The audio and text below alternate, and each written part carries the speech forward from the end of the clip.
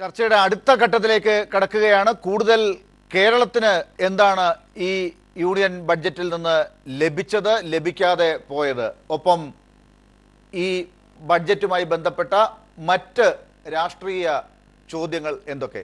ആ ചർച്ചയിലേക്ക് വരുമ്പോൾ കൂടുതൽ അതിഥികൾ ചേരുന്നു. കോൺഗ്രസ് നേതാവ് advocate P M Suresh Babu B J P നേതാവ് advocate B Gopalakrishnan C P M നേതാവ് ശ്രീ ആനത്തലവട്ടം ആനന്ദൻ ശ്രീ റെജി ലൂക്കോസ് മുതിർന്ന മാധ്യമ നിരീക്ഷകൻ ഒപ്പം ശ്രീ ജോസഫ് സി മാത്യുവും തുടരും ഈ ചർച്ചയിൽ. അതിഥികൾ ചേർന്നിട്ടുണ്ട് advocate B Gopalakrishnan advocate P M Suresh Babu Shri Anathalavattam Anandan Shri Joseph C Mathew Shri Reji Lukose. C P M സംസ്ഥാന സെക്രട്ടേറിയറ്റ് അംഗം ശ്രീ ആനത്തലവട്ടം ആനന്ദൻ. ശ്രീ ആനത്തലവട്ടം ഈ കേന്ദ്ര ബഡ്ജറ്റ് കേരളത്തിന് എന്ത് നൽകിയെന്നാണ് ഈ ഘട്ടത്തിൽ തുടക്കത്തിൽ അന്വേഷിക്കുന്നത്. നോട്ട് നിരോധനവുമായി ബന്ധപ്പെട്ടുണ്ടായ പ്രശ്നങ്ങളിൽ നിന്ന് കരകയറുന്നതിനുള്ള എല്ലാ വഴികളും ഈ ബഡ്ജറ്റിൽ ഉണ്ടാകുമോ എന്നാണ് എല്ലാവരും നോക്കിയത്. അങ്ങനെ കേരളത്തിന് അനുഭവിക്കേണ്ടി വന്ന പ്രശ്നങ്ങൾക്കൊരു പരിഹാരം ഈ ബഡ്ജറ്റിലുണ്ടോ? ഈ ബഡ്ജറ്റിൽ ഇന്ത്യയിലെ ജനങ്ങൾക്ക് എന്ത് കിട്ടി എന്ന ചോദ്യമാണ് കേരളത്തിന് എന്ത് കിട്ടി എന്നുള്ളതിനേക്കാൾ പ്രസക്തമായിട്ടുള്ളത്. കിട്ടിയത് കോർപ്പറേറ്റുകൾക്ക് ഗുണം കിട്ടുന്ന തരത്തിലുള്ള നിർദ്ദേശങ്ങളാണ് വന്നിട്ടുള്ളത്. മോഡി ഗവൺമെന്റ് അധികാരത്തിൽ വരുമ്പോൾ രണ്ടായിരത്തി പതിനാലിൽ ഇന്ത്യയിലെ ഒരു ശതമാനം ആളുകളുടെ കയ്യിൽ ആകെ സമ്പത്തിന്റെ നാൽപ്പത്തൊമ്പത് ശതമാനമായിരുന്നു. രണ്ടായിരത്തി പതിനാറായപ്പോൾ അത് അൻപത്തിയെട്ട് ദശാംശം ആറ് ശതമാനമായി. നാൽപ്പത്തൊമ്പതിൽ നിന്ന് അൻപത്തെട്ടിലേക്ക് വർദ്ധിച്ചു. അപ്പം മോഡി ഭരണത്തിന്റെ മേന്മ ആർക്ക് ഗുണമാർക്കും എന്നുള്ള എന്നുള്ളത് വ്യക്തമാണ്. ഈ ബഡ്ജറ്റ് ഡിമോണിറ്റൈസേഷന് ശേഷം കൊണ്ടുവരുന്ന ബഡ്ജറ്റാണ് ആ ഡിമോണിറ്റൈസേഷന്റെ നടപടി സ്വീകരിച്ചതിന് ശേഷം ഡിസംബർ എട്ടിനും മാർച്ച് ഡിസംബർ മുപ്പത്തൊന്നിനും ഒക്കെ അദ്ദേഹം അവസാനം ചെയ്ത പ്രസംഗം നോട്ട് അസാധുവാക്കിയതെല്ലാം ശേഖരിച്ചതിന് ശേഷം ആദ്യ പ്രസംഗത്തിൽ പറഞ്ഞത് എത്ര നോട്ട് കള്ളനോട്ട് കണ്ടെത്തിയെന്ന് പറയുമെന്നാണ് എല്ലാവരും പ്രതീക്ഷിച്ച് പറഞ്ഞില്ല. എത്ര കള്ളപ്പണം കണ്ടെത്തിയെന്നുള്ള കാര്യവും പറഞ്ഞില്ല. തീവ്രവാദ പ്രവർത്തനം അവസാനിപ്പിച്ചതിന്റെ കാര്യവും പറയുന്നില്ല. എന്നാൽ അദ്ദേഹം കഴിഞ്ഞ വർഷത്തെക്കാൾ തീവ്രവാദികളുടെ നുഴഞ്ഞുകയറ്റത്തിൽ കഴിഞ്ഞ വർഷം പതിനാറ് പേരാണ് കൊല ചെയ്യപ്പെട്ടെങ്കിൽ ഇപ്പോൾ മുപ്പത്തിരണ്ട് പേരായി വർദ്ധിച്ചു. കള്ളനോട്ടെല്ലാം കണ്ടെത്തിയെന്ന് ഒറ്റ കള്ളനോട്ട് എത്ര കള്ളനോട്ട് കണ്ടെത്തിയെന്ന് ആൾ പറയുമെന്ന് കരുതിയിരുന്നു. ഒന്നും പറഞ്ഞിട്ടില്ല. കള്ളപ്പണത്തിന്റെ കാര്യം അത് തന്നെയാണ്. അധികാരത്തിൽ വരുന്നതിന് വേണ്ടി പറഞ്ഞത് വേൾഡ് ബാങ്ക് തന്നെ പറയുകയുണ്ടായി മുപ്പത്തഞ്ച് ലക്ഷം കോടി രൂപയുടെ കള്ളപ്പണം വിദേശ ബാങ്കുകളിൽ നിക്ഷേപം ഉണ്ടെന്ന് ഒരു പൈസ എടുത്തിട്ടില്ല. അതേസമയം ഇവിടെ കള്ളപ്പണം ഉണ്ടെന്ന് പറയുന്നവരെ കണ്ടെത്തിയതായിട്ടും പറഞ്ഞിട്ടില്ല. അപ്പോൾ എന്തിനാണ് ഈ ദുരന്തം സുനാമി പോലത്തെ ഒരു ദുരന്തമാണ് ഇന്ത്യയുടെ ജനങ്ങൾക്കുണ്ടാക്കി വെച്ചത്? ഏതെന്നറിയില്ല പണിയുള്ളവരുടെ ലക്ഷക്കണക്കിന് ആളുകളുടെ പണി പോയി. കൃഷിക്കാരുടെ കാർഷികോൽപ്പന്നങ്ങളുടെ വില ഇടിഞ്ഞു കൃഷിക്കാർ പാപ്പരായി. വ്യവസായ മേഖലയിൽ വ്യാവസായിക ഉൽപ്പാദനം കുറഞ്ഞു. ക്യാപിറ്റൽ പ്രൊഡക്ഷൻ നടത്തുന്ന മാനുഫാക്ചറിംഗ് രംഗത്ത് മുപ്പത് ശതമാനമാണ് ഇടിവ്. തുകൽ തുണി മറ്റ് കയറ്റുമ ആഭരണ നിർമ്മാണ മേഖലയിലൊക്കെ പണിയെടുത്തിരുന്ന തൊഴിലാളികളുടെ അവിടെ എല്ലാം പണി നഷ്ടപ്പെട്ടു. അസംഘടിത മേഖലയിലാണെങ്കിൽ ലക്ഷ കോടിക്കണക്കിന് ആളുകൾക്കാണ് പണി നഷ്ടപ്പെട്ടത്. എന്താണ് നേടിയത്? കാർഷിക മേഖല തകർച്ച വ്യവസായ മേഖല തകർച്ച? ഇപ്പോൾ ഇന്നലെ എക്കണോമിക് റിവ്യൂവിൽ പറയുന്നു കാർഷിക രംഗത്ത് വലിയ പുരോഗതി ഉണ്ട് കഴിഞ്ഞ വർഷത്തെ പുരോഗതി ഒന്ന് ദശാംശം രണ്ട് ശതമാനമാണ് കാർഷിക രംഗത്ത് പുരോഗതി വന്നത്. വ്യാവസായിക മേഖലയിൽ രണ്ട് ശതമാനം ഇടിവുണ്ടായി വളർച്ചയിൽ ഇടിവുണ്ടായി. രണ്ടര ശതമാനമാണ് ആഭ്യന്തര ഉൽപ്പാദനത്തിൽ ഇടിവ് വന്നിരിക്കുന്നത്. അങ്ങനെയുള്ള എല്ലാ മേഖലയും തകർത്തുകൊണ്ട് ഇപ്പോൾ കൊണ്ടുവന്നിരിക്കുന്ന ബഡ്ജറ്റിൽ എന്ത് ബെനിഫിറ്റാണ്? സാധാരണ ജനങ്ങൾക്ക് കേരളത്തിന് എന്താ കിട്ടിയത്? കേരളത്തിനൊന്നും കിട്ടിയില്ല. ശരി. Advocate P M Suresh Babu Congress എങ്ങനെയാണ് കേരളത്തിനെ പരിഗണിച്ച കാര്യത്തിൽ കാണുന്നത്? മുമ്പ് പ്രത്യേകിച്ച് റെയിൽവേയുടെ കാര്യത്തിൽ എത്ര ട്രെയിൻ കിട്ടി എന്നുള്ളതാണ് ഏറ്റവും ആദ്യം നോക്കുന്ന കാര്യം. ഇത്തവണ ബഡ്ജറ്റിൽ അങ്ങനെ ഒരു കാര്യം അന്വേഷിക്കുന്നതിനുള്ള ഒരു അവതരണ രീതി പോലും കാണുന്നില്ല എന്ന് നേരത്തെ ശ്രീ ജോസഫ് സി മാത്യുവിനെ പോലുള്ളവർ ഈ ചർച്ചയിൽ തന്നെ പറഞ്ഞതാണ്. എങ്ങനെ കാണുന്നു ഈ ബഡ്ജറ്റിനെ?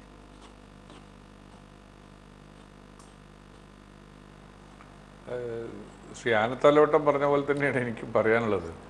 കാരണം ഇന്ത്യ രാജ്യത്തെ ജനങ്ങൾക്ക് എന്താണ് ഇതിന്റെ ഈ ഗുണപരമായ നേട്ടം ഉണ്ടായത് എന്നുള്ളത് കുറച്ചൊരു പ്രസ്താവനയെങ്കിലും വരും എന്ന് നമ്മളൊക്കെ പ്രതീക്ഷിച്ചതാണ്. കഴിഞ്ഞ നവംബർ എട്ടാം തീയതി ഡിമോണിറ്റൈസേഷൻ പ്രഖ്യാപിക്കുമ്പോൾ സ്വാഭാവികമായും ജനങ്ങളുടെ ഇടയിൽ ഒരു ഉത്കണ്ഠ ഉണ്ടായിരുന്നു. പ്രധാനമന്ത്രി അന്ന് പറഞ്ഞത് ഒരാഴ്ച കൊണ്ട് പ്രശ്നങ്ങൾക്ക് പരിഹാരം ഉണ്ടാവുന്നതാണ് പിന്നീട് പറഞ്ഞു അമ്പത് ദിവസങ്ങൾ കൊണ്ട് പ്രശ്നം ഉണ്ടാവുമെന്ന് പറഞ്ഞു. ഡിസംബർ മുപ്പത്തി മുപ്പതാം തീയതി വൈകുന്നേരം അദ്ദേഹം വീണ്ടും ജനങ്ങളോട് പറഞ്ഞത് എല്ലാ പ്രശ്നങ്ങൾക്കും പരിഹാരമായിക്കൊണ്ടിരിക്കുകയാണ്. നാട്ടിൽ വളരെയധികം പുരോഗതി കള്ളപ്പണം പിടിച്ചിട്ടുണ്ട്. തീവ്രവാദ പ്രവർത്തനങ്ങൾ കുറഞ്ഞിട്ടുണ്ട്. തുടങ്ങിയ എല്ലാ അവകാശവാദങ്ങളും അദ്ദേഹം ഉന്നയിച്ചു. എവിടെയാണ് അതുണ്ടായത് എന്നും അതിന്റെ സ്റ്റാറ്റിസ്റ്റിക്സ് എന്താണെന്നും സ്വാഭാവികമായി ഈ ബജറ്റ് സ്പീച്ചിൽ ശ്രീ അരുൺ ജെയ്റ്റ്ലിയുടെ വകയായി ഒരു വിശദീകരണം രാജ്യത്തെ ജനങ്ങൾക്ക് കൊടുക്കും എന്നും നമ്മൾ പ്രതീക്ഷിച്ചതാണ്. ഒന്നും ഉണ്ടായില്ല.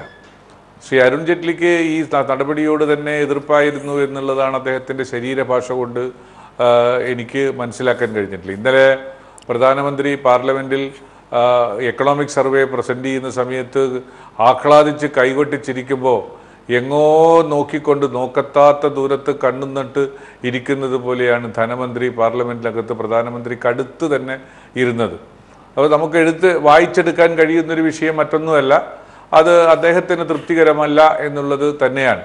അതെന്തോ ഇരിക്കട്ടെ അതിനെക്കുറിച്ച് നമുക്ക് അസംഷൻസ് മാത്രമേ പറയാൻ കഴിയുകയുള്ളൂ.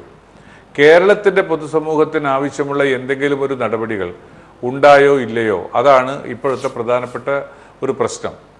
ഇപ്പോൾ വളരെ കാര്യമായി അവകാശപ്പെടുന്നത് നൂറ്റി ശിഷ്ടം നൂറിൽ ശിഷ്ടം കിലോമീറ്റർ ഒരു വർഷത്തിനുള്ളിൽ റെയിൽ പദ റെയിൽ വർദ്ധിപ്പിക്കുമെന്നും മൂവായിരത്തി അല്ല റോഡ് റോഡ് ഉണ്ടാക്കുമെന്നും അങ്ങനെയൊക്കെ ഒരു കണക്കുകളാണ് പറഞ്ഞുകൊണ്ടിരിക്കുന്നത്. ഞാൻ കൃത്യമായി അതിന്റെ ഡാറ്റ ഡാറ്റാസ് ഓർക്കുന്നില്ല. പക്ഷേ പണ്ടത്തെ ഒരു പത്ത് കൊല്ലങ്ങൾക്ക് മുമ്പുള്ള പ്രൊഡക്ഷനെയും താരതമ്യപ്പെടുത്തിയാണ് ഇപ്പോൾ പറയുന്നത്. അന്ന് ആ കാലഘട്ടത്തിൽ അതൊക്കെ വളരെ ഗൗരവപൂർവം മറക്കുകയാണ്. ആ കാലഘട്ടങ്ങളിലൊക്കെ നിർമ്മാണ പ്രവർത്തനങ്ങൾ തൊണ്ണൂറ് ശതമാനം മാനുവലാണ്. മനുഷ്യപ്രയത്നം കൊണ്ടാണ് നിർമ്മാണ പ്രവർത്തനങ്ങൾ നടന്നുകൊണ്ടിരിക്കുന്നത്. ഇന്ന് പത്ത് ശതമാനമാണ് മാനുവൽ ബാക്കി തൊണ്ണൂറ് ശതമാനവും മെക്കാനിക്കലും മെഷീനറിയുമാണ്. അപ്പൊ അങ്ങനെയുള്ള ഒരു സാങ്കേതിക വിദ്യയുടെ വികരണം കൊണ്ട് വർദ്ധിപ്പിച്ച കാര്യങ്ങളൊക്കെ എടുത്തു കാട്ടി അതാണ് ഈ രാജ്യത്തിന്റെ പുരോഗതിക്ക് കാരണം ഞങ്ങൾ വന്നപ്പോഴാണ് ഇതൊക്കെ ഉണ്ടായിരിക്കുന്നത് എന്ന് എടുത്തു കാണിക്കുന്നത്. രാജ്യത്തെ ജനങ്ങളുടെ ബുദ്ധിവിശേഷത്തെ ചോദ്യം ചെയ്യുന്നതിന് തുല്യമായിരിക്കുമെന്നാണ് എനിക്ക് തോന്നുന്നത്. സാമ്പത്തിക രംഗത്ത് ഒരു വളർച്ചയും ഉണ്ടാക്കാൻ കഴിഞ്ഞിട്ടില്ല. കഴിഞ്ഞ കൊല്ലം സാമ്പത്തിക രംഗത്ത് കാർഷിക രംഗം എടുക്കാൻ നമുക്ക് കഴിഞ്ഞ കൊല്ലം വേണ്ടത്ര കാലാവസ്ഥ പ്രതികൂലമായതുകൊണ്ട് അല്ലെങ്കിൽ ലഭ്യമാകാത്തത് കൊണ്ട് കാർഷിക രംഗത്തെ വളർച്ച ഒന്നേ പോയിന്റ് സംതിങ് ആയി വർദ്ധിച്ചു നിന്നു. ഇപ്പോഴത് കാലാവസ്ഥ അനുകൂലമായതുകൊണ്ട് വെ- വെ- വെ- വെള്ളത്തിന്റെ ലഭ്യത മഴയുടെ ലഭ്യത തുടങ്ങിയ സൗകര്യങ്ങൾ കൊണ്ട് അത് നാലിലേക്ക് എത്തുന്നു എന്നാണ് പറഞ്ഞിട്ടുള്ളത്. അത് കാലാവസ്ഥയെ ഡിപ്പെൻഡ് ചെയ്തുകൊണ്ട് മാത്രമുള്ള സാമ്പത്തിക വളർച്ചയാണ് ബാക്കി എല്ലാ രംഗത്തും എൽ വ്യാവസായിക രംഗത്ത് ബാക്കിയുള്ള എല്ലാ രംഗത്തും ഈ ജി ഡി പി ഇന്ത്യ രാജ്യത്തിന്റെ ജി ഡി പി താഴോട്ടാണ്. റിസർവ് ബാങ്ക് തന്നെ അനുമതി അനുവദിച്ചു തരുന്നു. റിസർവ് ബാങ്ക് തന്നെ അംഗീകരിച്ചു തരുന്നു. ജി ഡി പി രണ്ട് ശതമാനത്തിലേക്ക് താഴെ പോകുമെന്ന്. ഇന്ത്യയുടെ മുൻ പ്രധാനമന്ത്രി സാമ്പത്തിക വിദഗ്ധനായ ഡോക്ടർ മൻമോഹൻ സിംഗ് രണ്ട് ശതമാനത്തിന്റെ ജി ഡി പിയുടെ വളർച്ച കുറവുണ്ടാകും എന്ന് പറഞ്ഞപ്പോ നിഷേധിക്കാൻ ധനമന്ത്രി തയ്യാറായില്ല പ്രധാനമന്ത്രി തയ്യാറായില്ല. അത് ആ യാഥാർത്ഥ്യത്തിലേക്കാണ് സമൂഹം പോകുന്നത്. നമ്മുടെ രാജ്യത്തിന്റെ കറൻസിയെ ഈ ലോക രാജ്യങ്ങൾ ഇപ്പോൾ വിശ്വസിക്കുന്നില്ല. അമേരിക്കൻ ഡോളറിനുള്ള സ്റ്റാറ്റസിലേക്ക് നമ്മുടെ ഇന്ത്യൻ റുപ്പി അതിനൊരു ചിഹ്നം പോലും കിട്ടി. ആ റുപ്പി വളർന്നു വന്നതായിരുന്നു. ഇപ്പോൾ ഇന്ത്യൻ കറൻസി എന്ന് പറയുന്നത് എടുക്കാച്ചരക്കാണ് ലോക കമ്പോളത്തിൽ അങ്ങനെ ഇത്രയും പ്ര- പ്രയത്നത്തോടുകൂടി കഠിനമായ അധ്വാനത്തോടുകൂടി ഇന്ത്യ രാജ്യത്തെ കറൻസിക്ക് ഒരു സമൂഹത്തിൽ പൊതു ലോക സമൂഹത്തിന്റെ മുമ്പിൽ ഉണ്ടാക്കിക്കൊടുത്ത മാന്യത നഷ്ടപ്പെടുത്തിയ ഡിവാലുവേഷൻ ഡിമോണിറ്റൈസേഷൻ ഇതൊക്കെ സംഭവിച്ചിട്ട് ശരി പെട്ടെന്ന് ഇടവേളയിലേക്ക് പോവുകയാണ് ശ്രീ റെജി ലൂക്കോസ്. കേരളത്തിന് എന്താണ് വേണ്ടിയിരുന്നത്? കേരളത്തിന് എന്താണ് കിട്ടിയത്? അതായത് നമ്മുടെ ബഹുമാനായ ചെറിയാൻ വിൽപ്പിൽ ഒരു പോസ്റ്റ് ഇട്ടിട്ടുണ്ട്. കേരളം ഇപ്പോഴും പുറമ്പോക്കിലാണ് എനിക്ക് ഇതിനെക്കുറിച്ച് ആദ്യം പറയാനുള്ളതാണ്. കാരണം കേരളത്തെക്കുറിച്ച് ഈ നിർഭാഗ്യവശാൽ ഈ പിന്നെ നമ്മുടെ ധനകാര്യമന്ത്രി ഒരു വാക്ക് പോലും ഉരിയിടാത്ത ഒരു ബഡ്ജറ്റാണ് കടന്നുപോയത്.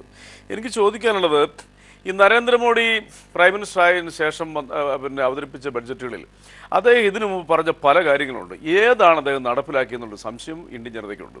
ഒന്നാമത് ഇദ്ദേഹം പറഞ്ഞതെന്ന് വെച്ചാൽ ഈ ഗംഗ പിന്നെ ശുദ്ധീകരിക്കുന്നു പറഞ്ഞുകൊണ്ട് എന്റെ ഓർമ്മ ശരിയാണ് എണ്ണായിരം കോടി രൂപയുടെ ഒരു പ്രോജക്റ്റുമായിട്ട് അതിനെ ഒരു പിന്നെ ഒരു ഒരു ഒരു മലയാളി കേഡറിലുള്ള ഒരു ഉദ്യോഗസ്ഥനെ സ്ഥാപിച്ചു. ഗംഗ എത്രത്തോളം ക്ലീനായി ഇന്ത്യയിലെ ജനങ്ങൾക്ക് സംശയം അക്കാര്യത്തിൽ അതുപോലെ തന്നെ ഗുജറാത്തിൽ നമ്മുടെ സർദാർ വല്ലഭായ് പട്ടേലിന്റെ പ്രതിമ സ്ഥാപിക്കാനായിട്ട് ഒരു മൂവായിരം കോടി. പിന്നെ ഛത്രപതി ശിവജിയുടെ പ്രതിമ സ്ഥാപിക്കാനായിട്ട് അദ്ദേഹം പോയി കടലിൽ പോയി കല്ലിട്ട് അതിന് ഏതാണ്ട് മൂവായിരത്തഞ്ഞൂറ് കോടി. ഇങ്ങനെയുള്ള ഗിമ്മിക്സുകളെല്ലാം നടത്തിയ ഒരു പ്രധാനമന്ത്രി ഒരു ഭരണകൂടവും ഇന്ന് ഇന്ത്യൻ ജനതയുടെ മുമ്പിൽ അപഹാസ്യമാകാൻ രണ്ട് കാരണങ്ങളുണ്ട്. ഇതിനകത്ത് രണ്ട് രാഷ്ട്രീയ കാര്യങ്ങളുണ്ട്. ഒന്ന് ഈ പാർലമെന്റിൽ ഇന്ത്യൻ പാർലമെന്റിൽ ഇരുപത്തിയഞ്ച് വർഷം തികഞ്ഞ ഇന്ത്യയുടെ മുഖം പല പിന്നെ അന്തർദേശീയ പിന്നെ സെമിനാറുകളിലും ഐക്യരാഷ്ട്രസഭയിൽ പന്ത്രണ്ട് തവണയും പാകിസ്ഥാനുമായിട്ടുള്ള നിർണായക ചർച്ച പരാജയപ്പെട്ടപ്പോൾ അന്ന് ലോകരാഷ്ട്രങ്ങൾ നമുക്കെതിരെ വിരൽ ചൂണ്ടിയപ്പോൾ അന്ന് ഐക്യരാഷ്ട്രസഭയിൽ പോയി അതായത് പർവേസ് മുഷാറഫ് പിന്നെ പാകിസ്ഥാൻ പ്രസിഡന്റ് ആയിരുന്നപ്പോൾ വിഖ്യാതമായ ആഗ്ര കൂടിക്കാഴ്ചയിൽ. അന്ന് ഏതാണ്ട് നൂറ്റി ഇരുപതോളം രാജ്യങ്ങൾ ഇന്ത്യക്കെതിരെ വിരൽ ചൂണ്ടിയപ്പോൾ സമർത്ഥമായ വാദങ്ങൾ ഉന്നയിച്ചുകൊണ്ട് ഈ രാജ്യത്തിന്റെ സംസ്കാരവും പൈതൃകവും ലോകരാഷ്ട്രങ്ങളുടെ മുമ്പിൽ വാനോളം ഉയർത്തിയ ഈ രാജ്യത്തിന്റെ ഏറ്റവും വലിയ മതേതരവാദിയായ ഇന്ത്യൻ പാർലമെന്റ് തിളങ്ങിയ കേരളത്തിന്റെ ഒരു സന്തതിയായ ഈ അഹമ്മദ് സാഹിബിന്റെ മരണത്തെ അവർ നാല് മണിക്കൂർ നേരത്തേക്ക് നാടകം കളിച്ചുകൊണ്ട് സ്വന്തം മക്കളെ പോലും കാണിക്കാതെ കണ്ട് ഒരു കേന്ദ്രമന്ത്രി എഴുതിയ ഒരു നാടകത്തിന് അദ്ദേഹം ഹോസ്പിറ്റലിൽ പോയി. ഈ മരണം നീട്ടിവെക്കണമെന്നും നാളെ ബഡ്ജറ്റ് അവതരിപ്പിക്കുന്നതിന് ശേഷം മാത്രമേ അദ്ദേഹത്തിന് മരണം പ്രഖ്യാപിക്കുമെന്നും കാണിച്ചുകൊണ്ട് കാണിച്ച അതിക്രൂരമായ പൈശാചി മുഖം. ബി ജെ പി എന്ന രാഷ്ട്രീയ പ്രസ്ഥാനത്തിന്റെ കേന്ദ്ര മന്ത്രിസഭയുടെയും ഈ നരേന്ദ്രമോദി എന്ന് പറയുന്ന ഇന്ത്യൻ പ്രധാനമന്ത്രിയുടെയും ഒരു വികൃത മുഖം ഈ രാജ്യത്തെ ജനങ്ങൾ ദർശിക്കാനിടയായി. ശരി. ഞാൻ അവിടെ ഒന്ന് ഞാൻ ഇടപെടുകയാണ്. അഡ്വക്കേറ്റ് ഗോപാലകൃഷ്ണൻ കൂടി ചേർന്നിട്ടുണ്ട്. അഡ്വക്കേറ്റ് ഗോപാലകൃഷ്ണൻ ഞാൻ- ഈ ചോദ്യം തന്നെ ആദ്യമേ താങ്കളോട് ചോദിക്കുകയാണ് ബഡ്ജറ്റാണ് നമ്മൾ ചർച്ച ചെയ്യുന്നത്. കേരളത്തിന് എന്ത് കിട്ടി എന്ത് ബഡ്ജറ്റിലുണ്ട് എന്നതാണ് അന്വേഷിക്കുന്നത്. പക്ഷേ അതിന് മുമ്പ് ഒരു വലിയ ചോദ്യം കേരളം ഇപ്പോൾ അന്വേഷിക്കുന്ന ഒരു ചോദ്യത്തിന് ഒരു ഉത്തരം ബി ജെ പിക്ക് എന്ത് പറയാനുണ്ട് എന്നുള്ളതാണ്. കോൺഗ്രസ് രാവിലെ തന്നെ ആരോപിച്ചു കഴിഞ്ഞു. പല നേതാക്കളും മുസ്ലിം ലീഗിന്റെ നേതാക്കളും ഇന്ന് രാവിലെ പറയുന്നത് നമ്മൾ കേട്ടതാണ്. അദ്ദേഹത്തിന്റെ ശ്രീ ഇ അഹമ്മദിന്റെ മരണത്തെ നീട്ടിവെച്ച് അത് പുറത്തറിയിക്കാതെ ബഡ്ജറ്റ് അവതരിപ്പിക്കാനുള്ള ഒരു തന്ത്രം കേന്ദ്ര സർക്കാരിന്റെ ഭാഗത്തുനിന്ന് ഉണ്ടായി എന്ന്. അതിനൊരു മറുപടി പറയേണ്ടതല്ലേ?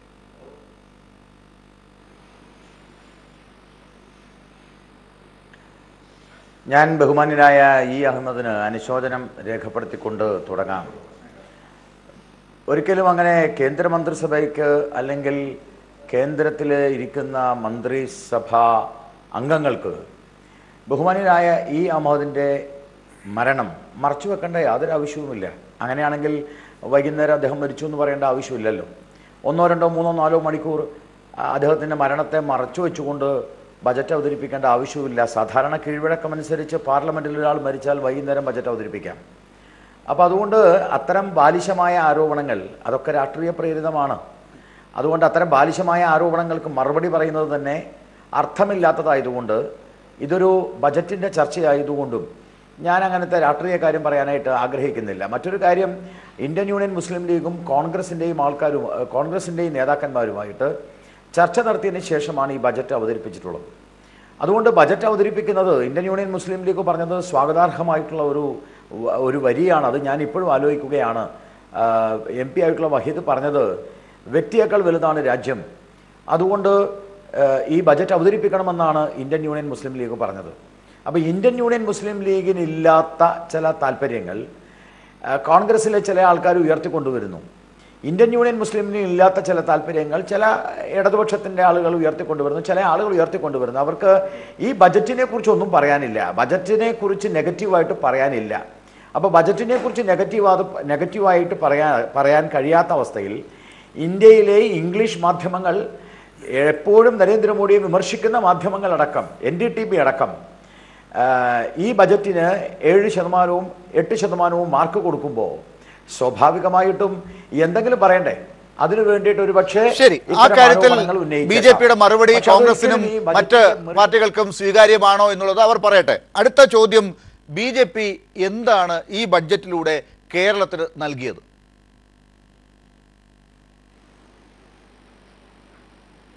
ബി ജെ പി ഇന്ത്യക്കാണ് നൽകിയത്. ബി ജെ പി ചിന്തിക്കുന്നത് ഞാൻ ചിന്തിക്കുന്നത് ഈ നാട്ടിലെ ജനങ്ങൾ ചിന്തിക്കുന്നത് ഇന്ത്യ കേരളത്തിന്റെ ഭാഗമാണ് കേരളം ഇന്ത്യയുടെ ഭാഗമാണ്. കേരളത്തെ വേറിട്ടൊരു സംസ്ഥാനമായി കാണാൻ ആഗ്രഹിക്കുന്നവരാണ് കേരളത്തിന് ഒന്നും കിട്ടിയില്ല കേരളത്തിന് ഒന്നും കിട്ടിയില്ല എന്ന് പറയുന്നത്. ബഹുമാനനായ തോമസ് ഐസക്ക് കേരളത്തിന്റെ നിയമസഭയിൽ ഒരു ബജറ്റ് അവതരിപ്പിക്കുമ്പോൾ തൃശ്ശൂരിനൊന്നും കിട്ടിയില്ല തൃശ്ശൂരിനൊന്നും കിട്ടിയില്ല എന്ന് ഞാൻ വിലപിക്കുന്നത് ശരിയാണോ? ആ വിലാപം എന്ന് പറയുന്നത് ഇന്ത്യയെ കാണാൻ കഴിയാത്തവരാണ്.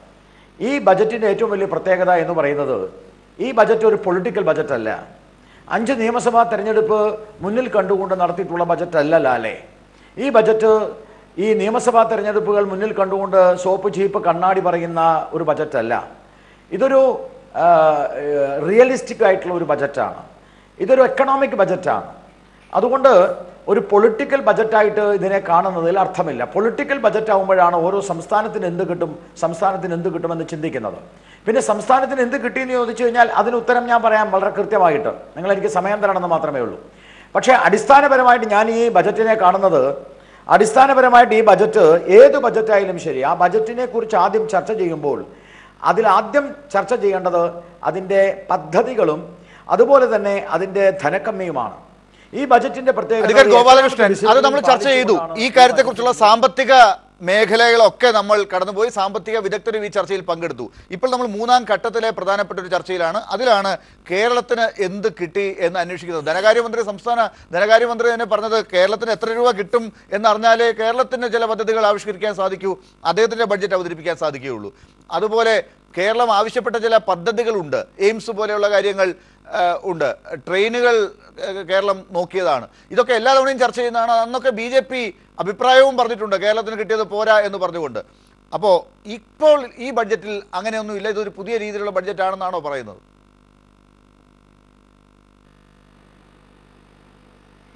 അല്ലെ ഒന്നാമത്തെ കാര്യം ഈ ബജറ്റ് ഒരു വിപ്ലവകരമായ ബജറ്റാണ് ഞാൻ നേരത്തെ ആരൊക്കെ സംസാരിച്ചു പോയെന്ന് എനിക്കറിയില്ല. പക്ഷേ ഞാൻ എന്റെ കാഴ്ചപ്പാട് ബജറ്റിനെ കുറിച്ച് പറഞ്ഞാൽ ഈ ബജറ്റ് പ്രധാനപ്പെട്ട നാല് നാല് ആസ്പെക്ട്സിനെയാണ് ഊന്നുന്നത്. ഒന്നാമത് ചെറുകിട മേഖല വ്യാവസായിക മേഖല. രണ്ടാമത് ദാരിദ്ര്യ മേഖല. മൂന്നാമത് കാർഷിക മേഖല ഗ്രാമ മേഖല. നാലാമത് അടിസ്ഥാന സൗകര്യ വികസന മേഖല ഇൻഫ്രാസ്ട്രക്ചർ അപ്പോൾ ഈ നാല് മേഖലകളെ ഊന്നിക്കൊണ്ടുള്ള വികസനം എന്ന് പറയുന്നത് ഇന്ത്യയുടെ വികസനമാണ്. ആ വികസനം കേരളത്തിന്റെയും ഭാഗമാണ്. ഇപ്പൊ പിലിഗ്രിം ടൂറിസം മേഖലയിൽ റെയിൽവേയുടെ മൂവായിരത്തി നാനൂറ് കിലോമീറ്റർ റെയിൽവേയുടെ നീളം വർദ്ധിക്കുമ്പോൾ അത് കേരളത്തിന്റെ ഭാഗമാണ് കാരണം ഇൻക്രെഡിബിൾ എന്ന കൺസെപ്റ്റിലേക്ക് ഇൻക്രെഡിബിൾ ഇന്ത്യ എന്ന കൺസെപ്റ്റിലേക്ക് ടൂറിസത്തെ ഡെവലപ്പ് ചെയ്യുമ്പോൾ പിലിഗ്രിമിനെ ഡെവലപ്പ് ചെയ്യുമ്പോൾ അതിന്റെ ഭാഗമായിട്ട് കേരളത്തിലെ ടൂറിസവും അതുപോലെ തന്നെ പിലിഗ്രിം തീർത്ഥാടനവും വരുമ്പോൾ ആ റെയിൽവേ ട്രാക്ക് വരും. പണ്ട് ശ്രീ ഓ രാജഗോപാൽ കേന്ദ്രമന്ത്രി ആയിരുന്നപ്പോൾ ട്രെയിനുകൾ കൂടുതൽ അനുവദിച്ചു. ചില ട്രെയിനുകളുടെ പേരുകൾ തന്നെ പറയാറുണ്ട്. അതൊക്കെ അവരുടെ സംഭാവനയാണ്. കേരളത്തിന് നൽകിയതാണെന്നൊക്കെ അന്ന് പറഞ്ഞ് അവകാശപ്പെട്ടവരാണ് നിങ്ങളൊക്കെ. ഇപ്പോൾ ഈ പറയുന്ന ഇൻക്രെഡിബിൾ ഇന്ത്യ എന്നും മൊത്തം ഇന്ത്യയ്ക്ക് വേണ്ടിയുള്ള കാര്യങ്ങളാണെന്നും കേരളം അതിൽ അഭിമാനം കൊള്ളണം ഒരു ദേശം എന്നുള്ള നിലയ്ക്ക് എന്നൊക്കെ പറഞ്ഞുകൊണ്ടുള്ള ദേശീയത പറയാൻ മാത്രമേ നിങ്ങൾക്കും സാധിക്കുന്നുള്ളൂ. അതിനകത്തുനിന്ന് ചൂണ്ടിക്കാട്ടാൻ ഒന്നുമില്ല.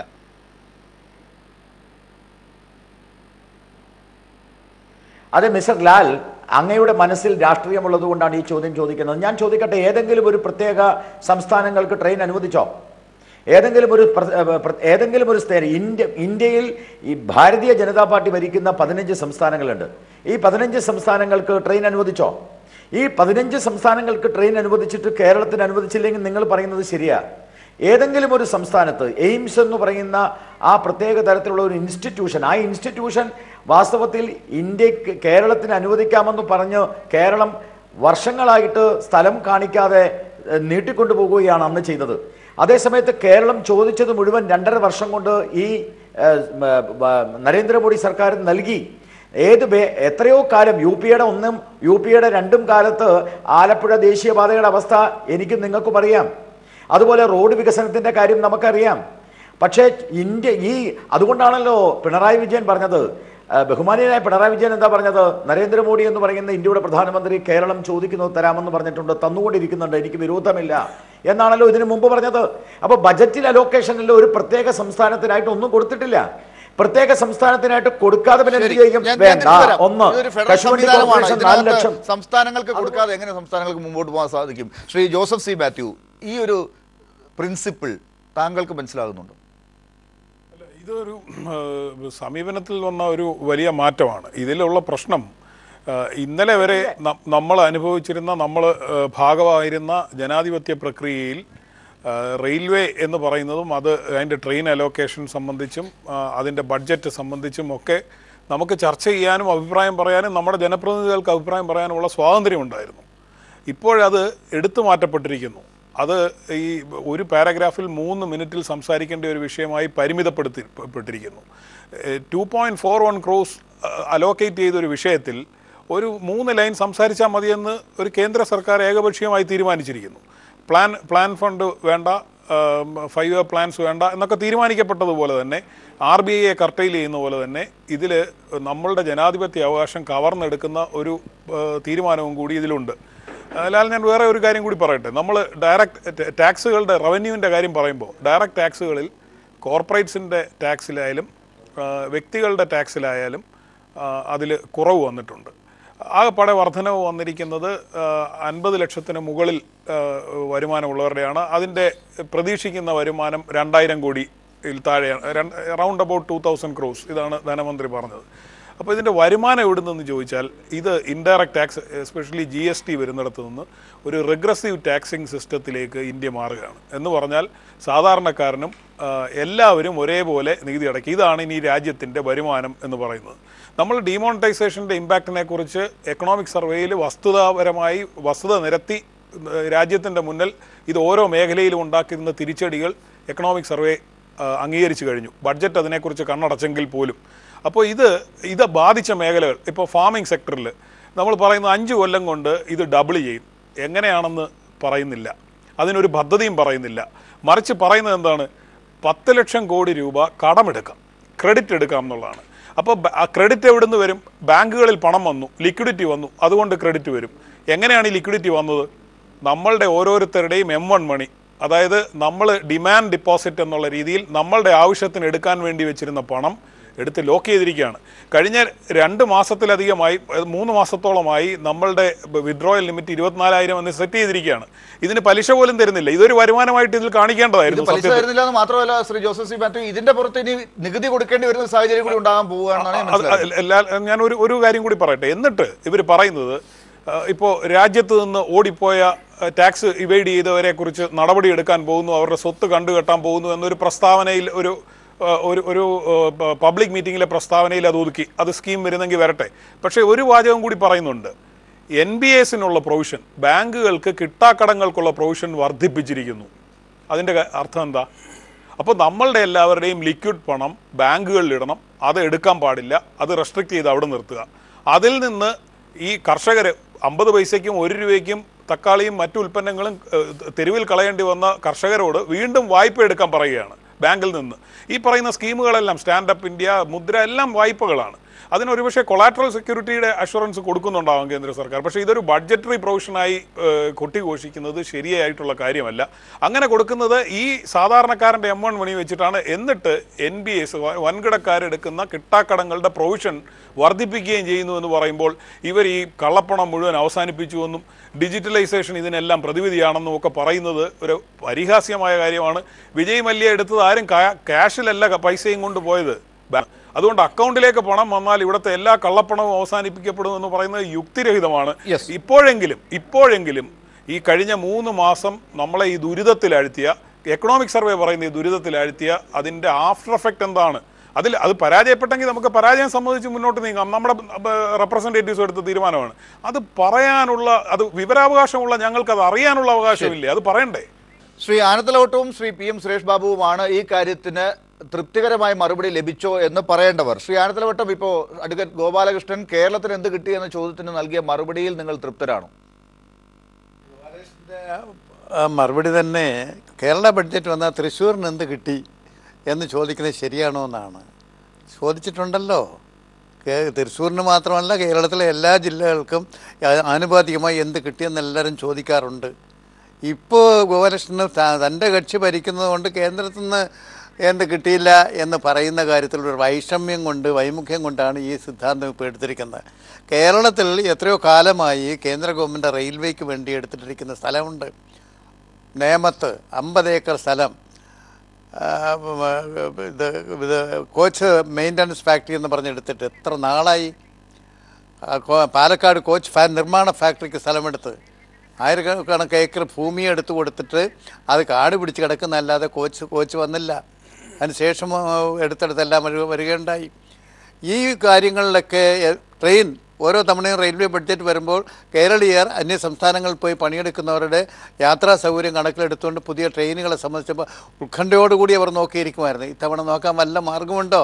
നിങ്ങളുടെ പുതിയ സിസ്റ്റത്തിന്റെ അടിസ്ഥാനത്തിൽ. എയിംസിന് ഇപ്പം ഗുജറാത്തിൽ എയിംസ് കൊടുത്തു മറ്റ് വേറൊരു സംസ്ഥാനത്ത് കൊടുത്തു. ജാർഖണ്ഡ്. ജാർഖണ്ഡിൽ കൊടുത്തു. എന്താ കേരളത്തിന് തരാഞ്ഞത്? ഗോപാലകൃഷ്ണൻ കൂട്ടരും പറയാണ് ഇവിടെ സ്ഥലം എടുത്തു കൊടുത്തത് രണ്ട് പ്രാവശ്യമാണ് കേരളത്തിന്റെ മുഖ്യമന്ത്രി പോയി സൈറ്റും സ്ഥലത്തിന്റെയും സകല വിവരങ്ങളും പ്രധാനമന്ത്രിയെ ധരിപ്പിച്ചത്. വെറുതെ കളവ് പറഞ്ഞുകൊണ്ട് സ്ഥലമെടുത്ത് കൊടുക്കാഞ്ഞിട്ടാണ് തരാതിരിക്കാന്ന് പറയുന്നത് കേന്ദ്രം പറഞ്ഞിട്ടില്ല ഇതുവരെ. അപ്പോൾ ഈ കേരളത്തോട് കാണിച്ച അവഗണനയെ മറച്ചു വയ്ക്കാൻ വേണ്ടി അങ്ങനെ ചോദിക്കുന്ന ഒരു ദേശീയ ബോധത്തിന്റെ കുറവാണെന്നൊക്കെ പറഞ്ഞാൽ കേരളത്തിലെ ജനങ്ങൾ ജീവിച്ചിരിക്കുന്ന ജനങ്ങൾ എത്രയോ കാലമായി ഓരോ ബഡ്ജറ്റും വരുമ്പോൾ നിങ്ങളടക്കം കേരളത്തിലെ ബി ജെ പി നേതാക്കളടക്കം അതിനെ സംബന്ധിച്ച് വിമർശനം നടത്തിയുള്ളതാണ്. ഇവിടെ പ്രസക്തമായ ഒരു പ്രശ്നമുണ്ട്. ആ പ്രശ്നം ഇവിടെ മിസ്റ്റർ ജോസ് ചൂണ്ടിക്കാണിക്കുകയുണ്ടായി നോട്ടിനെ സംബന്ധിച്ച് നോട്ട് അസാധുവാക്കിയതിനെ സംബന്ധിച്ച്. ഇവർ പറഞ്ഞ കാര്യങ്ങളൊക്കെ വിഴുങ്ങിയോ? ഇതിനകത്ത് കേരളത്തിലെ ഇന്ത്യ ഇന്ത്യ രാജ്യത്തെ ബാങ്കുകളിലുള്ള പണം മുഴുവൻ കോർപ്പറേറ്റുകൾ അവർക്ക് വായ്പ കൊടുത്തിട്ടുണ്ട് ബിസിനസ്സിന് അദാനിക്കും അതുപോലെ റിലയൻസിനും ഒക്കെ കൊടുത്തിട്ടുണ്ട്. ആ കാശ് അവർ തിരിച്ചടയ്ക്കാതെ വരുമ്പോൾ അവർക്ക് റൈറ്റ് ഓഫ് ചെയ്ത് കൊടുക്കുകയാണ്. കഴിഞ്ഞ രണ്ടായിരത്തി അഞ്ച് മുതൽ പതിനഞ്ച് വരെ പത്ത് വർഷത്തിനിടയിൽ നാൽപ്പത്തിരണ്ട് ലക്ഷം കോടി രൂപയാണ് അവർക്ക് റൈറ്റ് ഓഫ് ചെയ്ത് കൊടുത്തത്. ബാങ്കുകൾ ഏതാണ്ട് പൊളിയുന്ന ഒരു സ്ഥിതിയിലേക്ക് ഇരിക്കുന്നു. അവിടെ പണമില്ലാതെ ഇങ്ങനെ അത് നിരപരാധികളായ ജനങ്ങളുടെ കയ്യിലിരിക്കുന്ന കറൻസി മുഴുവൻ ബാങ്കിലിട്ട് ബാങ്കിനെ രക്ഷിക്കാനല്ലേ നിങ്ങൾ നോക്കുക. എന്നിട്ട് മറ്റുള്ളവർക്ക് വൻതോതിൽ വായ്പ കൊടുക്കുക. വൻകിട കോർപ്പറേറ്റുകൾക്ക് അവർ തിരിച്ചടയ്ക്കാതിരിക്കുമ്പോൾ റൈറ്റ് ഓഫ് ചെയ്ത് കൊടുക്കുക. ഇത് പാവപ്പെട്ടവന്റെ ചെലവിൽ അധ്വാനിച്ചുണ്ടാക്കിയ കാശ് ഏതെങ്കിലും ആവശ്യത്തിന് ബാങ്കിൽ ഇട്ടിരിക്കുന്ന എടുക്കാൻ സമ്മതിക്കില്ല. എന്തു മര്യാദ? യെസ് അതിനൊരു പരിഹാരം ഈ ബഡ്ജറ്റിൽ ഉണ്ടാകുമെന്നാണ് അഡ്വക്കേറ്റ് ഗോപാലകൃഷ്ണൻ കരുതാകണ്ടേ ഉണ്ടാകണ്ടേ? അതല്ലേ പറയേണ്ടത്? ജനങ്ങൾ അറിയേണ്ട കാര്യം ബഡ്ജറ്റിൽ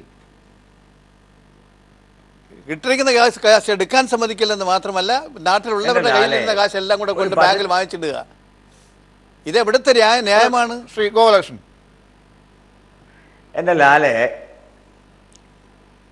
എന്റെ ലാലെ ഒരു ബജറ്റിന്റെ ഡിസ്കഷനാണ് ഇവിടെ നടക്കുന്നതെന്നാണ് ഞാൻ ധരിച്ചത്. ഡിമോണിറ്റൈസേഷന്റെ ഡിസ്കഷൻ കഴിഞ്ഞ അമ്പത് അമ്പത്തഞ്ച് ദിവസമായി നടന്നല്ലോ. ആ നടന്നിട്ട് എന്ത് സംഭവിച്ചു? ഇവിടെ ആകെ തകർന്നു പോകും മിസ്റ്റർ ജോസഫ് ജോസഫ് പറഞ്ഞതുപോലെ ഇവിടെ ആകെ തകർന്നു പോയി എന്ന് പല ചർച്ചയിലും അദ്ദേഹം പറയുന്നത് ഞാൻ കേട്ടിട്ടുണ്ട്. ഒരു തകർച്ചയും ഇവിടെ സംഭവിച്ചിട്ടില്ല. തകർച്ച സംഭവിച്ചിട്ടുണ്ട്. തകർച്ച സംഭവിച്ചത് ഭാരതീയ ജനതാ പാർട്ടിയെ രാഷ്ട്രീയമായി എതിർക്കാൻ ആഗ്രഹിക്കുന്നവർ ആ സംസ്ഥാനത്താണ് തകർച്ചയ്ക്ക് സാമ്പത്തിക മാന്ദ്യമൊക്കെ ഉണ്ടായത്. എന്തിനാണ് ക്യാഷ് കൊടുക്കാൻ പോകുന്നത്? ഇവിടുത്തെ ഒരു ലക്ഷം രൂപ ശമ്പളമുള്ള ആളുകൾക്ക് ക്യാഷ് കയ്യിൽ നിന്ന് കൊടുക്കണം എന്ത് നിർബന്ധമാണ് അത് ബാങ്ക് വഴി കൊടുത്താൽ പോരെ. ഇവിടെ ക്യാഷ്ലെസ് ട്രാൻസാക്ഷന് വേണ്ടിയിട്ടുള്ള ശ്രമം നടക്കുമ്പോൾ ക്യാഷ് ട്രാൻസാക്ഷൻ പ്രോത്സാഹിപ്പിക്കുന്ന സർക്കാരാണ് കേരളത്തിന്റെ സർക്കാർ. അപ്പോൾ തുടക്കത്തിലെ ഞാൻ ചോദിക്കാൻ ആഗ്രഹിക്കുന്നത് ഏതെങ്കിലും ഒരു പ്രത്യേക സംസ്ഥാനങ്ങൾക്ക് വിഹിതം കൊടുത്തതായിട്ടോ അല്ലെങ്കിൽ പ്രത്യേക സംസ്ഥാനങ്ങൾക്ക് ട്രെയിൻ കൊടുത്തതായിട്ടോ ഞാൻ ഈ ബജറ്റിൽ കേട്ടിട്ടില്ല. എയിംസ് ജാർഖണ്ഡിനും ഗുജറാത്തിനും കൊടുത്തത് താങ്കൾ കേട്ടോ? കേരളത്തിന് എന്തുകൊണ്ട് കൊടുത്തില്ല? അതിന് കാരണമുണ്ട് ഞാനത് ഞാൻ ഞാനൊന്ന് പറഞ്ഞോട്ടെ മാഷ് ഇങ്ങനെ ചാടിക്കയറി ചോദിക്കല്ലേ? എയിംസിന്റെ കാര്യത്തിലാണ് ജാർഖണ്ഡും ഗുജറാത്തിനും കൊടുത്തത്. എയിംസിന്റെ കാര്യത്തിൽ ജാർഖണ്ഡും ഗുജറാത്തിനും കൊടുത്തപ്പോൾ ജാർഖണ്ഡിനും ഗുജറാത്തിനും ഐ കൊടുത്തിരുന്നില്ല. അത് നിങ്ങൾ മറക്കരുത്. ഏറ്റവും ആവശ്യം ഈ സർക്കാർ വന്ന സമയത്ത് ഏറ്റവും പ്രധാനപ്പെട്ട ഇന്റർനാഷണൽ നിലവാരത്തിലുള്ള ഇൻസ്റ്റിറ്റ്യൂഷൻ ഈ ഇന്ത്യയിൽ ഈ കേരളത്തിലേക്കാണ് കൊണ്ടുവന്നത്. അന്ന് ഗുജറാത്തിന് കൊടുത്തിട്ടില്ല. ഗുജറാത്തുകാർ ബഹളം ഉണ്ടാക്കിയിട്ടില്ല. ജാർഖണ്ഡിന് കൊടുത്തിട്ടില്ല. ജാർഖണ്ഡുകാർ ബഹളം വെച്ചിട്ടില്ല. ഒന്ന്. രണ്ടാമത്തെ കാര്യം നേരത്തെ ജോസഫ് തോമസും അതുപോലെ ബഹുമാനായ ആനന്ദ് ആനത്തലോട്ട് ആനന്ദനൊക്കെ പറയുന്നത് കേട്ടു. ഇവിടെ പുതിയ ട്രെയിനില്ല ട്രെയിനില്ല. ഞാൻ കുറേ കൊല്ലമായി കേൾക്കുന്നു കഞ്ചിക്കോട്. ദാ വരുന്നു കഞ്ചിക്കോട് ദാ വരുന്നു കഞ്ചിക്കോട്.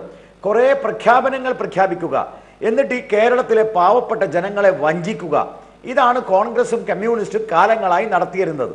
ഞങ്ങൾക്കതിൽ താല്പര്യമില്ല.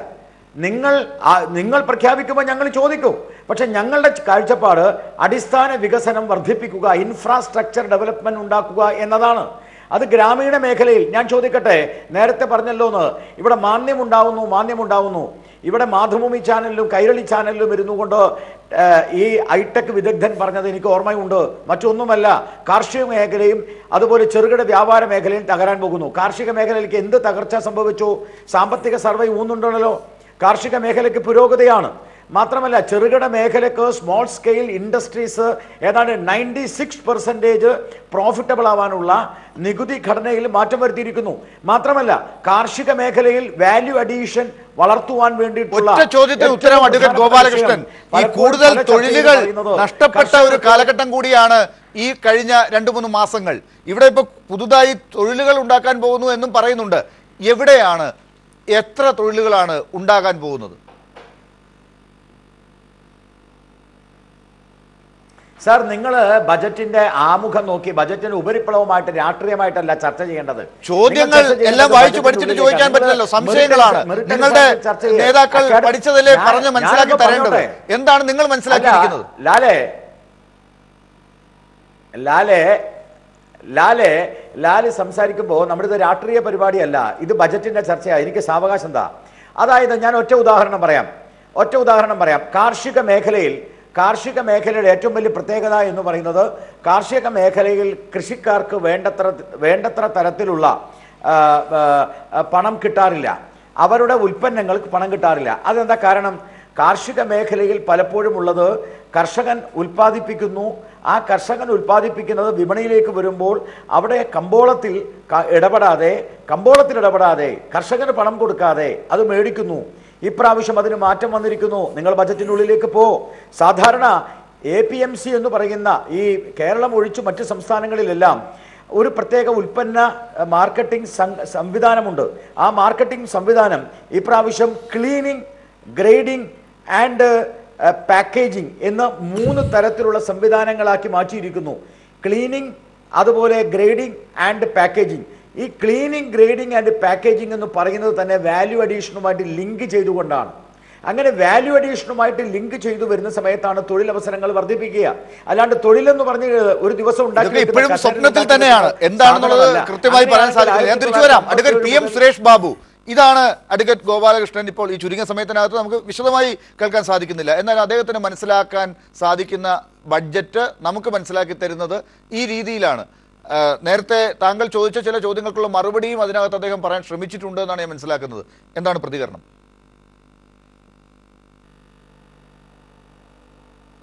അല്ല ഇത് അങ്ങനൊരു ഒഴുക്കൻ മട്ടിൽ പറഞ്ഞു പോകേണ്ടുന്നൊരു വിഷയമല്ല. കാരണം ഇന്ത്യയുടെ നൂറ്റി ഇരുപത്തേഴ് കോടി ജനങ്ങളെയൊക്കെ ബാധിക്കുന്ന വളരെ വിശാലമായ ഒരു പ്രശ്നമാണ്. ഒരു സംസ്ഥാനത്തിന്റെ ബജറ്റ് പോലുമല്ല. ഇന്ത്യയുടെ രാഷ്ട്രത്തിന്റെ ഒരു ബജറ്റ് എന്ന് പറയുന്നത് അതിനൊരു ദിശാബോധം വേണം. ആ ദിശാബോധം എന്താണ്? പുതിയ പ്രോജക്ട്സുകളൊന്നുമില്ല. പുതുതായ ഒരു പരിപാടിയുമില്ല. നേരത്തെ നേരത്തെ നിശ്ചയിച്ച് നടപ്പിലാക്കിക്കൊണ്ടിരിക്കുന്ന പദ്ധതികളിൽ തുകയുടെ വലിപ്പം കൂട്ടി അഥവാ കുറച്ചുകൂടെ കൂട്ടി വർദ്ധിപ്പിച്ചു എന്നതിൽ കവിഞ്ഞ് രാജ്യത്തെ ക്ഷേമ പൈശ്വര്യ പദ്ധതികൾക്ക് ആയിട്ട് ഒന്നും തന്നെ നീക്കി വെച്ചിട്ടില്ല. റോഡ് വികസനത്തിന് റെയിൽ വികസനത്തിനൊക്കെ കുറച്ച് പൈസ വെച്ചിട്ടുണ്ട്. അത് ഒഴിവാക്കിയിട്ട് ഇതൊരു പ്രോജക്റ്റ് എന്താണ്? ഏതാണ് പ്രോജക്റ്റ്? ഇന്ത്യ രാജ്യത്തെ ഏത് തരത്തിലാണ് സംഘ- സംഘടിപ്പിക്കാൻ പോകുന്നത്? വരാനിരിക്കുന്ന ഒരു വർഷം കൂടെ കഴിഞ്ഞാൽ പുതിയൊരു തെരഞ്ഞെടുപ്പിലേക്ക് വരികയാണ്. ആ തെരഞ്ഞെടുപ്പ് കാലഘട്ടങ്ങളിലേക്ക് വരുമ്പോൾ ഇന്ത്യയുടെ ദിശ ഇന്നതായിരുന്നു എന്ന് പറയുന്നതിന് പകരം ഒരു കണക്കിലെ കസരത്ത് വെച്ചുകൊണ്ട് ഈ തെരഞ്ഞ ഈ ബജറ്റ് ഇപ്പോൾ ഈ രാജ്യത്തിലെ ജനങ്ങളുടെ മുമ്പിലാണ് സമർപ്പിച്ചിരിക്കുന്നത് എന്ന് പറഞ്ഞാൽ അതിനെ അംഗീകരിച്ചു കൊടുക്കാൻ നമുക്കാർക്കും കഴിയില്ല. ഇപ്പോൾ ഈ ഒരുപാട് കാര്യങ്ങൾ നമ്മുടെ മുമ്പിൽ പറയേണ്ടതായിട്ടുണ്ടായിരുന്നു. ഞാൻ വീണ്ടും വീണ്ടും ആവർത്തിച്ച് പറയുന്നത് ഈ ഡിമോ ഡിമോണിറ്റൈസേഷൻ ഫലമായി രാജ്യത്തുണ്ടായ നേട്ടം എന്താണ്? രാജ്യത്തെ ജനങ്ങളെ കഴിഞ്ഞ പത്തെഴുപത് ദിവസമായി നടുറൂട്ടിൽ താൻ സമ്പാദിച്ചു വെച്ച പണത്തിന് ക്യൂ നിൽക്കേണ്ടുന്ന ഗതികേടിലാക്കിയ ഭരണകൂടം അതുകൊണ്ട് രാഷ്ട്രത്തിന് എന്ത് നേട്ടമുണ്ടാക്കി കൊടുത്തു എന്ന് പറയാനുള്ള ചാർജവം ധനമന്ത്രി കാണിക്കേണ്ടതായിരുന്നു. അത് കാണിക്കാതെ രാജ്യത്തെ ജനങ്ങളോട് വീണ്ടും വെല്ലുവിളി ഉയർത്തുന്ന തരത്തിലുള്ള സമീപനമാണ് സ്വീകരിച്ചിട്ടുള്ളത്. അതുകൊണ്ട് ഈ ബജറ്റ് ജനക്ഷേമകരം ആണെന്ന് അല്ലെന്ന് മാത്രമല്ല ഈ ബജറ്റ് പൊതുവെ ഇന്ത്യയുടെ സാമ്പത്തിക സ്ഥിതിയെ പിറകോട്ട് വലിക്കുന്നതിന് മാത്രം കാരണമായിട്ടുള്ള കണക്കുകൂട്ടലുകളും നിർദ്ദേശങ്ങളുമാണ് അതിനകത്തുള്ളത്. ശ്രീ റെജി ലൂക്കോസ് ഒരുപക്ഷെ കേന്ദ്ര സർക്കാരിന് ഒരു സംശയമുണ്ടോ? ഈ പല കാര്യങ്ങളും ഇങ്ങനെ ഒളിച്ചു വച്ചിരിക്കുന്നു. നമുക്ക് കൃത്യമായി മുൻകാലങ്ങളിലെ ബഡ്ജറ്റ് പോലെയുള്ള പദ്ധതികൾ പുറത്തേക്ക് കാണാൻ സാധിക്കുന്നില്ല. അതിന് ശ്രീ ഗോപാലകൃഷ്ണ പോലുള്ളവർ പറയുന്നത് എല്ലാ തവണയും ഇങ്ങനെ പദ്ധതികൾ വരും പ്രഖ്യാപിക്കും അതൊന്നും പിന്നെ കാണുന്നില്ല. അതുകൊണ്ട് എന്തിനാണ് അങ്ങനെയൊക്കെ എന്നുള്ളതിന് ഒരു മാറ്റം ഈ ബഡ്ജറ്റിൽ വരാൻ ശ്രമിച്ചിരിക്കുന്നു. പക്ഷേ ഇതൊരു കൃത്യമായ തന്ത്രം തന്നെയാണോ? അഞ്ച് സംസ്ഥാനങ്ങളിലേക്കുള്ള തെരഞ്ഞെടുപ്പ് നടക്കാൻ പോകുന്നു. അതുകൊണ്ട് തന്നെ കൃത്യമായി കാര്യങ്ങൾ പറയാതിരിക്കുക. പൊതുവേ ചില കാര്യങ്ങൾ പറയുക. പട്ടികജാതി പട്ടികവർഗ ദളിത് പിന്നോക്ക വിഭാഗങ്ങൾ അവർക്കൊക്കെ ഇതിനകത്ത് പരത്തി കാര്യങ്ങൾ പറയുന്നത് പോലെ പറയുക. അതുപോലെ ചില കർഷകരുടെ കാര്യങ്ങൾ പറയുക. അപ്പോൾ അത് ഈ മേഖലകളെയൊക്കെ സ്പർശിക്കുന്ന ചില കാര്യങ്ങളായി അത് വരികയും ചെയ്യും. അവർക്കെല്ലാം പുവർ പീപ്പിളിനുള്ള ബഡ്ജറ്റാണ്. മിഡിൽ ക്ലാസ്സിന് ലോവർ മിഡിൽ ക്ലാസ്സിനുള്ള ഒരു ബഡ്ജറ്റാണ് എന്ന് മാധ്യമങ്ങൾ നാഷണൽ മീഡിയ എങ്കിലും ചർച്ച ചെയ്യുന്ന തരത്തിലേക്ക് കാര്യങ്ങൾ പോകുന്നുണ്ട്. അപ്പോൾ അങ്ങനെ ഒരു ചർച്ച കൊണ്ടുവരാൻ ശ്രമിക്കുക എന്നുള്ളത് ഒരു തന്ത്രമാണ്. അല്ല അത് അവരുടെ തന്ത്രമാണ് പക്ഷെ അതുകൊണ്ട് ദയനീയമായിട്ട് പരാജയപ്പെട്ടിരിക്കുന്നത്. ബഹുമാനപ്പെട്ട ഗോപാലകൃഷ്ണൻ അങ്ങനെ സംസാരിച്ചപ്പോൾ ഞങ്ങൾ ആരോട് വേണ്ടിയിട്ടില്ല ഇത് പറയാനുള്ള അവകാശം തരണം. അതായത് ഇദ്ദേഹം ഇവിടെ ഉന്നയിച്ച ഇപ്പം പിന്നെ ഡോക്ടർ ചോദിച്ച ചോദ്യമായിട്ട് പിന്നെ ലിങ്ക് ചെയ്തൊരു മറുപടി ഞാൻ പറയുന്നത്. ഇദ്ദേഹം ഇവിടെ കാർഷിക മേഖലയിൽ അഡ്രസ്സ് ചെയ്തുകൊണ്ട് സംസാരിച്ച കാര്യങ്ങളിലെല്ലാം വളരെയധികം തെറ്റുണ്ട്. കാരണം ഇന്ത്യയിൽ പിന്നെ ഉത്തരേന്ത്യയിലാണ്. നമ്മുടെ സമ്പദ്ഘടന നിലനിൽക്കുന്ന കാർഷിക മേഖലയിലെ സമ്പദ്ഘടന നിലനിൽക്കുന്നത് ഇന്ത്യയിലെ പതിനൊന്ന് സംസ്ഥാനങ്ങൾ നടക്കുന്ന ഉത്തര ഉത്തരേന്ത്യയിലാണ്. അവിടെ കൃഷിക്കാർ കൃഷി ഇറക്കുന്ന സമയം എന്ന് പറയുന്നത് നവംബർ ഡിസംബർ അല്ല സോറി ക്ഷമിക്കണം പിന്നെ ഡിസംബർ ജനുവരി മാസങ്ങളിലാണ്. ഇരുപത്തിനാലായിരം രൂപ മാത്രമേ ഉള്ളൂ വിഡ്രോവൽ കപ്പാസിറ്റിയുള്ള അനുവാദമുള്ള ആ പിന്നെ നിയമം ആ കരിനിയമം അടിച്ചേൽപ്പിച്ചതോടുകൂടി ഉത്തരേന്ത്യയിലെ ഇരുപത്തിയെട്ടിനും ഇരുപത്തൊമ്പതിനും ഓളം വരുന്ന ശതമാനത്തോളം കർഷകർ കൃഷിയിൽ നിന്നും പിന്മാറിയിരിക്കുന്നു. നിങ്ങൾ അവർക്ക് വേണ്ടിയിട്ടുള്ള എന്ത് സഹായം ചെയ്തെന്നാണ് നിങ്ങൾ പറയുന്നത്? ഇരുപത്തിനാലായിരം രൂപ കൊണ്ട് പിന്നെ എങ്ങനെ കാർഷിക മേഖലയിൽ അവർക്ക് കൃഷി ഇറക്കാൻ സാധിക്കും? അത് ഇന്ത്യയുടെ സമ്പദ്ഘടനയ്ക്കും ഇന്ത്യയിലെ പാവപ്പെട്ട കർഷകരോടും ചെയ്ത കൊടും ക്രൂരതയല്ലേ? രണ്ടാമത്തെ ചോദ്യം നിങ്ങൾ മറുപടി പറയണം. ഇന്ത്യയിൽ നൂറ്റി കോടി ജനങ്ങളിൽ ഇരുപത്തിയേഴ് ശതമാനത്തിന് മാത്രമേ ഉള്ളൂ ഇന്റർനെറ്റ് ആക്സസ് ഉള്ളൂ. അത് കൃത്യമായി തെളിഞ്ഞിരിക്കുന്ന. അതിൽ അതായത് ഇവിടുത്തെ നഗര കേന്ദ്രീകൃതമായിട്ട് മാത്രമേ ഇന്റർനെറ്റ് ആക്സസ് ഉള്ളൂ. അപ്പോൾ നിങ്ങൾ എന്തുകൊണ്ടാണ് ക്യാഷ്ലെസ് കറൻസ് കറൻസിലെസ് ആയിട്ടുള്ള എക്കോണമി അതുപോലെ ഇലക്ട്രോണിക് സാങ്ഷൻ പിന്നെ ട്രാൻസാക്ഷൻ നിർബന്ധപൂർവം ഈ ബഡ്ജറ്റിൽ അടിച്ചേൽപ്പിക്കാൻ ശ്രമിക്കുന്നത്? അപ്പോൾ ഇന്ത്യയുടെ ഗ്രാമപ്രദേശങ്ങളിലെ ജനങ്ങളെ നിങ്ങൾ നിർദ്ധനരായി ഈ പട്ടിണിപ്പാവങ്ങളായിട്ട് മാറ്റുവാനുണ്ടല്ലേ? അത് ഈ രാജ്യത്തെ സ്വതന്ത്ര സ്വതന്ത്ര രാജ്യത്തോട് ചെയ്ത ഏറ്റവും വലിയ കൊടും പാതകമല്ലേ ഇതിനെന്തുകൊണ്ട് നിങ്ങൾ മറുപടി പറയുന്നില്ല? ശരി. രണ്ടാമത്തെ ഒരിക്കലും കാര്യം ചോദിക്കാനുണ്ട്. ബഹുമാനപ്പെട്ട ഗോപാലകൃഷ്ണൻ അങ്ങനെയോട് ഞാൻ ചോദ്യം ചോദിക്കട്ടെ? കേരളത്തിലെ ജനങ്ങൾ ഉത്തരേന്ത്യയിലെ ജനങ്ങൾക്ക് കൊടുക്കുന്ന അവകാശങ്ങൾ മാത്രം നോക്കിക്കൊണ്ട് ഇവിടെ നോക്കുകുത്തിയായിട്ടിരിക്കണോ? നിങ്ങളെ ആരാണ് പഠിപ്പിച്ചത്? നിങ്ങളുടെ തൃശ്ശൂർ ജില്ലയ്ക്ക് കിട്ടില്ലേ? നിങ്ങൾ വാളോങ്ങിയല്ലേ ഇപ്പൊ കേരളത്തിലെ ജനങ്ങൾക്ക് അവകാശപ്പെട്ടിരിക്കുന്ന എയിംസ് പോലെയുള്ള പിന്നെ ഹോസ്പിറ്റലിലേക്ക് ചികിത്സയ്ക്കായിട്ട് ഞങ്ങൾ ഉത്തര ഉത്തരാഖണ്ഡിൽ പോണോ? അപ്പൊ നിങ്ങൾ ഇത് ദേശീയതയുടെ പേര് പറയുന്നത് ശരിക്കും പറയുകയാണെന്നുണ്ടെങ്കിൽ നിങ്ങൾ ചാനലിൽ നിന്ന് കേരളത്തിലെ മലയാളികളെ അപമാനിക്കുകയല്ലേ? മറുപടിയിലേക്ക് തിരിച്ചു അടുക്കൊരു ഗോപാലകൃഷ്ണൻ മറുപടി.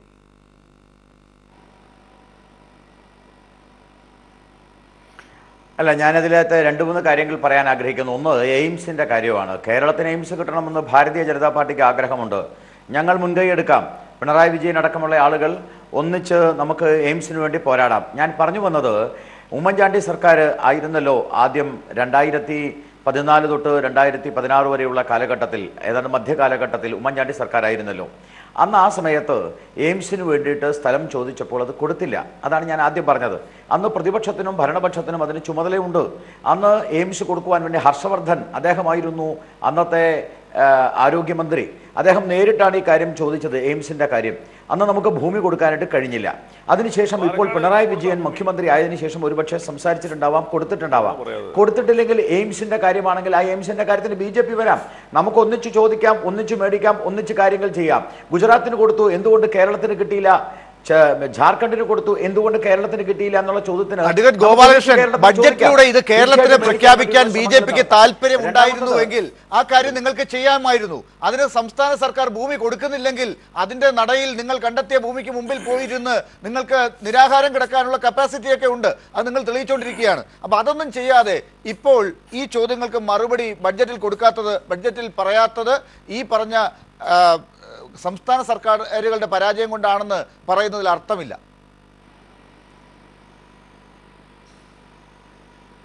ലാൽ ലാൽ ഇടയിൽ സംസാരിച്ചാൽ ഈ ബജറ്റ് ചർച്ചയിൽ ഒന്നും പറയാൻ പറ്റില്ല. ഇടയിൽ സംസാരിക്കല്ലേ? രണ്ടാമത്തെ കാര്യം ബഹുമാനപ്പെട്ട പിണറായി വിജയന് മുഖ്യമന്ത്രിക്ക് ഭാരതീയ ജനതാ പാർട്ടിയും കൂടി ഉൾപ്പെടുത്തി കൊണ്ടുപോകാമായിരുന്നല്ലോ ഈ ചർച്ചയ്ക്ക്.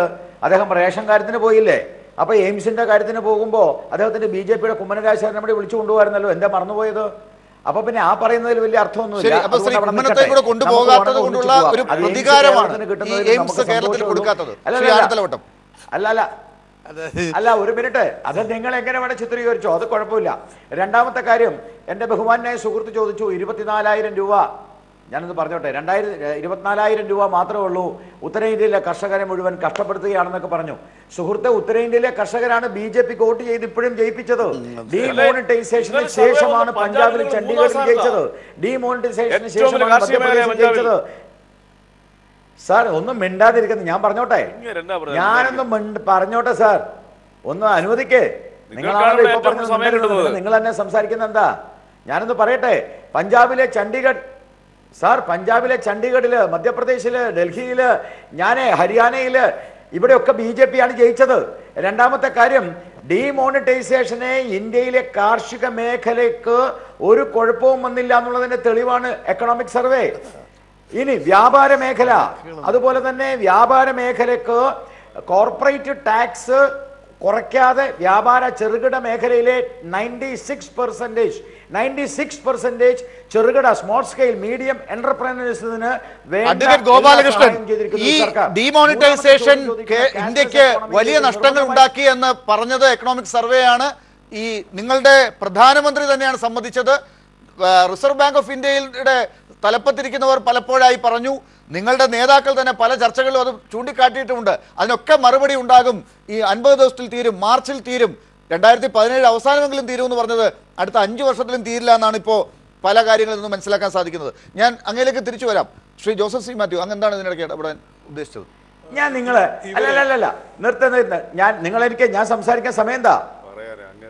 പറയൂ ശ്രീ ജോസഫ് അല്ല ലാലെ ഞാൻ പറയട്ടെ? ലാലെ ഞാൻ പറയട്ടെ? പെട്ടെന്ന് പറയൂ ശ്രീ ഗോപാലകൃഷ്ണൻ മുപ്പത് സെക്കൻഡിൽ. അല്ല ക്യാഷ്ലെസ് എക്കോണമി ക്യാഷ്ലെസ് എക്കോണമിയെ കുറിച്ചാണ് അദ്ദേഹം പറഞ്ഞത്. മുപ്പത്തിയാറ് ശതമാനം എത്രയാണ് ചൈ ഇന്ത്യയേക്കാൾ വിദ്യാഭ്യാസം കുറവുള്ള ചൈനയിലെ ക്യാഷ്ലെസ് എക്കോണമി എത്രയാണെന്ന് ചോദിക്കൂ. ഒന്ന് ഇനി ഇന്ത്യ ഈ കേര ഇന്ത്യയിൽ നാനൂറ് കേന്ദ്രങ്ങളിൽ നാനൂറ് കേന്ദ്രങ്ങളിൽ റെയിൽവേ ടിക്കറ്റിന്റെ എത്ര പെർസെന്റേജ് ആണ് ഇപ്പോൾ ഓൺലൈൻ ബുക്കിംഗ് എന്നുള്ളത് അന്വേഷിക്കൂ. അഡ്വക്കേറ്റ് ഇനി ഗോപാലകൃഷ്ണൻ മാത്രമല്ല, ഇപ്പൊ ഇതിനൊക്കെ സാധ്യതയുള്ളവർ മാത്രം യാത്ര ചെയ്താൽ മതി ഓൺലൈൻ ബുക്ക് ചെയ്താൽ മതി?